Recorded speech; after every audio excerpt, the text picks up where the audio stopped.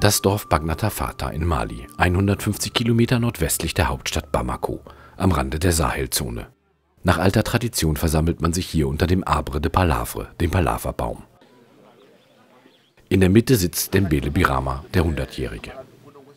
Als Bauer beobachtet er die Jahreszeiten genau. Er ist Zeuge des Klimawandels.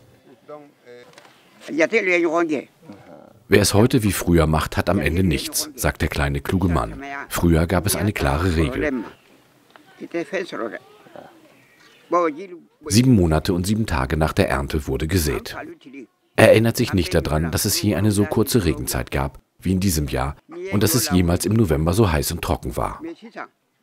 Und er weiß nicht, wie es weitergeht, sorgt sich um die Ernte im nächsten Jahr. Dörfer wie Bagnatafata tragen nichts zum Klimawandel bei. Doch die Folgen haben sie allein zu tragen. Die jungen Leute verlassen das Dorf, weil es nicht genügend zu essen gibt. Die Alten bleiben hier, weil sie in den Städten keine Versorgung haben. Die Jungen gehen, aber die Probleme bleiben hier.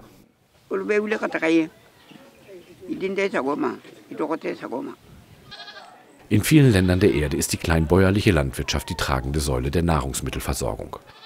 Wie hier in Mali ist sie regional angepasst und umweltverträglich, mit einfachen Methoden wie dem Hackebeil. Und hier gefährdet der Klimawandel die Existenz der Menschen durch die Verschiebung und Verkürzung der Regen- und Trockenzeiten. Hinzu kommen die Wetterextreme, denen die Menschen hier schutzlos ausgeliefert sind. Hitze und Starkregen, die den fruchtbaren Boden fortspülen und die Saat vernichten. Die zuständigen Behörden in Bamako registrieren den Klimawandel und die Auswirkungen am schnellsten. Wir verlieren jedes Jahr tonnenweise fruchtbaren Mutterboden durch heißen Wind und Starkregen, sagt Dr. Alamir Touré von der regierungsnahen Agentur für Umwelt.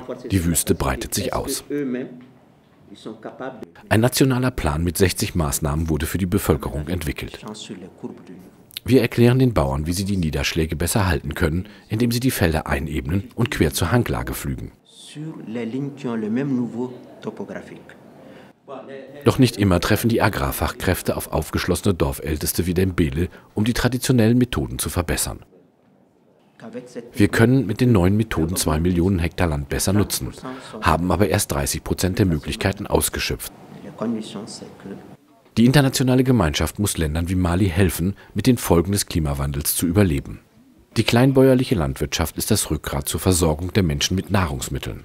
Die Anbaumethoden sind ökologisch und regional angepasst. Durch den Klimawandel ist die Landwirtschaft in Gefahr.